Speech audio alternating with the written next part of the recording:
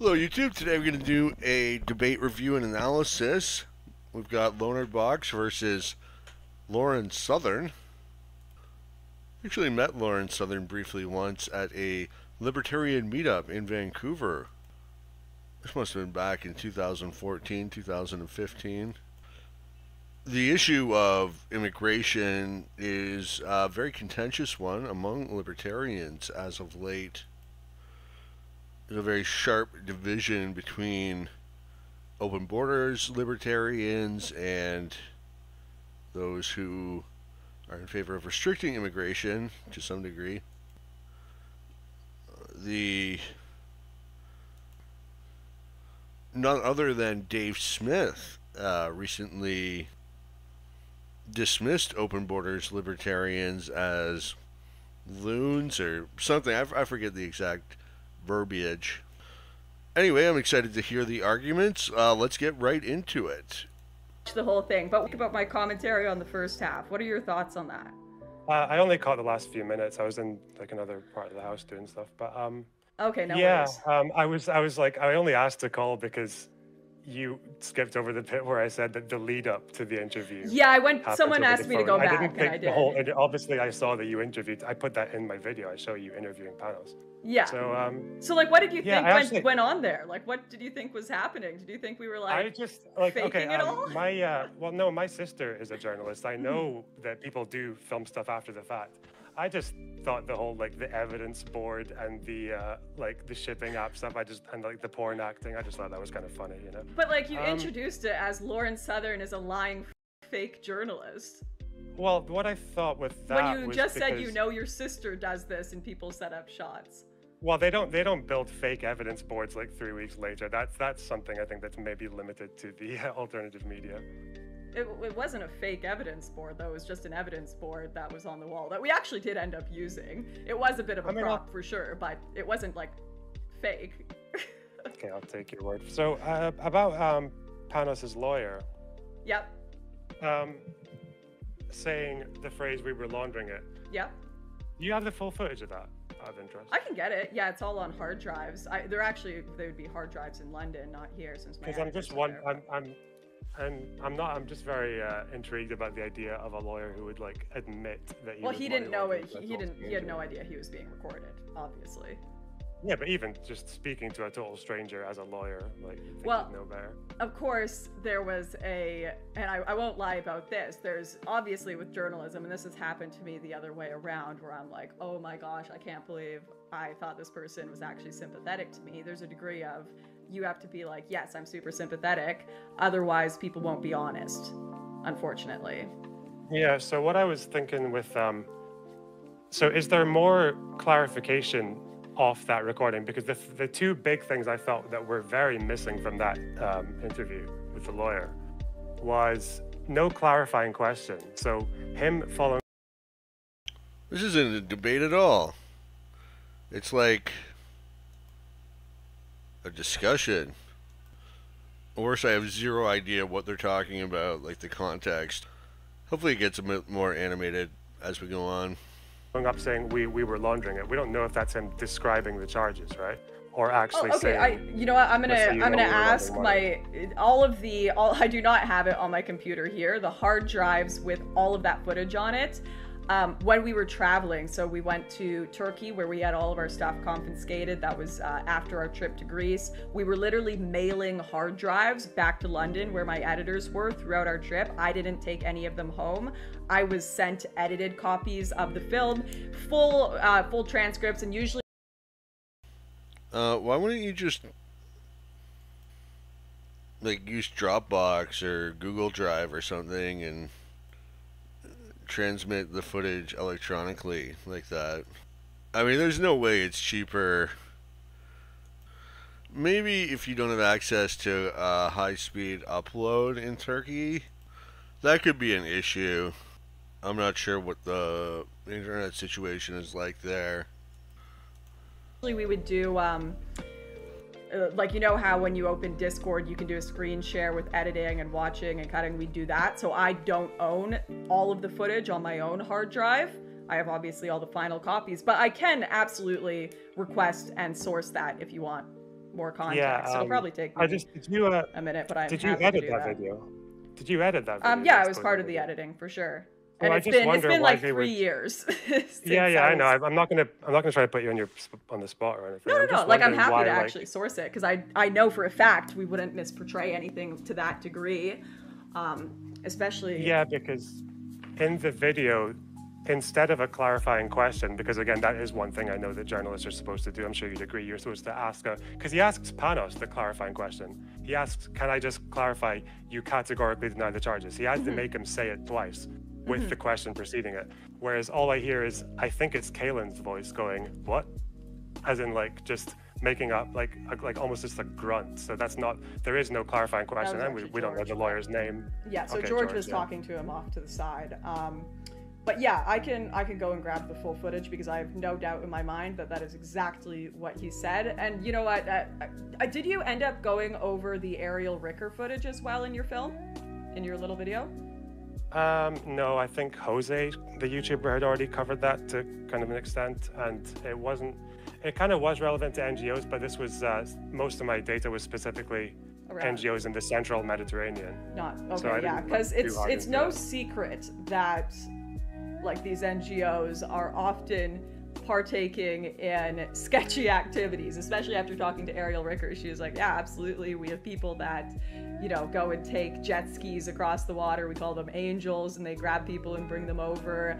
Um, we absolutely are training people how to get refugee status, pretending they're Christian and persecuted, because as you know, you even mentioned it in your video, Turkey is a refugee-safe country." Um, Yeah, I'm just I'm, I'm very curious. What country in particular are Christians getting persecuted in that Muslims aren't? Well, Turkey is majority Islamic, so that's what the claim would be coming from because it's really difficult. Obviously, Uh, when when I was in um, Lesbos, there's a place called the uh, Life Jacket Graveyard, and it's we we put footage of it. It's just like hundreds, thousands of life jackets in a pile from people who have just landed on the shore. Here's from Lauren's Wikipedia page. In May 2017, Southern, along with Martin Sellner and Brittany Pettibone, took part in an attempt organized by the identitarian group Generation Identitaire to block the passage of an NGO ship, the Aquarius, uh, claiming the goal of the activists was to stop an empty boat from going down to Libya, filling up with illegal migrants. Southern was briefly detained by the Italian Coast Guard. So, Lauren Southern to me has always seemed to be sort of flirting with the edge of outright white nationalism. There don't seem to be a lot of elements of libertarian thought in her worldview. I don't know. Maybe it's just a reaction against multiculturalism and identity politics. And in it, you can find people's documents like partially burned or thrown away. And typically, that's because they've been told by traffickers or by NGOs you can't have your documentation on you because you can be deported if you have your passport and you've come from like a non refugee country. Um, or if you've already got refugee status, obviously you're going to be sent back because it's like, no, you're already, you can't country shop. You've already been given Yeah, safe yeah, that- asylum. no, so no, that- we, that's- that's what I'm saying yeah. is we found like refugee papers for Turkey in this pile. Yeah, so what I'm asking about is the thing with the Christians thing, because like I know, well, the main refugee countries, I suppose, where there's like Christian Christians being persecuted would be Nigeria, right? Because of um, uh, Boko Haram. That's why that's like the main country where like a persecuted Christian under a Muslim regime would come from. But then I don't know why you would have to say you're Christian to prove you're persecuted, because Muslims get persecuted by Boko Haram as well. Well, no, this is in Turkey. They're claiming in Turkey I face persecution for whatever reason. Um, so this is people coming from Turkey. So they're not necessarily saying it's going to stick, but your your chances of getting a refugee status after tra- Turkey really doesn't strike me as a country with a lot of political or uh, religious repression. Though they do have that whack job president, dictator guy, Erdogan. Traveling through Turkey. uh, the claim could be like, as a persecuted Christian from X country, I don't feel Hmm. safe in a majority Muslim country again. I need to come to Europe. Uh, you don't. Well, you don't actually need to prove that you're You know, you don't need to stay in the first safe country you arrive in, though. That's not the law. So you can country shop? Is that Um, like can you can really- you can you cite where that comes from? Well, I'm just saying what the well, it's a, it's the United Nations uh, Convention on Refugees. Can you read that? Like I Just after a quick Google search, there is no requirement coming from Amnesty International for refugees to claim in the first safe country. The United Nations High Commissioner for Refugees. There is no requirement under international law for asylum seekers to seek refuge in the first safe country. Now, there is an agreement between Canada and the United States which says uh, the Safe Third Country Agreement uh, as part of the U.S. Canada Smart Border Action Plan, and refugee claimants are required to request refugee protection in the first safe country they arrive in, unless they qualify for an exception to the agreement. Uh, also, okay, there is a common misconception. I'll find it. It's I it was it Article 30. what- My notes for this are enormous. because Um, where is but it? all of the all of the uh, you know certainly I've gone to the European Union a couple times and spoken to people who are policymakers on this, and that was one of the number one contentions that was always spoken about by policymakers Yeah, was the so problem of country within- shopping. So within Europe, there is the Dublin regulation, uh, which says uh, you don't have to stay in the first safe country, but it might it'll probably harm your claim if you do. But that's within Europe. But that's within Europe, so that's, right? um, so that doesn't yeah, include so Turkey. not for doesn't include Turkey and even the thing within Europe, you could say the United Nations still has a problem with that because uh, the whole logic of saying you don't have to stay in the first safe country is you're just putting a very arbitrary burden on whichever country is next door, right? Like the fact that if you're if the nearest safe country is a country of like five million people and they're massively in debt, then it would make sense as an international community to allow people there to move onwards. So that's why the idea of safe third countries, and I mentioned this in the video as well, but watch. there's also the the- yeah, so that's the thing about, I'm trying to find this, um, where is it? Because Um, I obviously that really does. Um, that's one thing that I spoke to a lot of migrants about when I was on the ground. They were like, "Man, we really," and I we didn't film all of it because obviously a ton of migrants told us like, "No, we're not comfortable being on footage. We don't want to be filmed," and we respected that. We really made sure we only um, filmed people, especially if they were migrating and potentially, you know, escaping a violent regime in some cases because I do believe genuine refugees exist within that. Well, I think the majority are um, typically just migrating for economic reasons. Um, Dancing a pretty fine line here between, oh my god, the coming Muslim hordes and I, I heart refugees. I mean, whether they're economic migrants or quote unquote legitimate refugees, like who gives a shit? These are people escaping autocratic regimes looking for a better life. Why not just be compassionate a- and welcome them into into first world countries? I mean, I'm a huge proponent of increased immigration. I think that there's so many people in the third world who would benefit from uh, having access to uh, first world labor markets. Our economy can can use the influx of of unskilled workers, of people that are are eager and willing to work hard for a reasonable wage. And down the road, these workers are going to become skilled workers, entrepreneurs, husbands and wives, mothers and fathers. I mean, we're already below replacement in a lot of countries anyway. Canada certainly has a very low birth rate.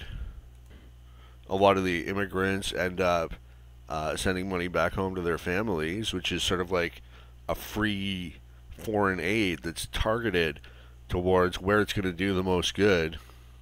Like, so what if if some um, NGO operatives are bending the rules a little? Sometimes when you're stuck within a senseless bureaucratic system, you have to bend the rules a little just just to make the whole thing work.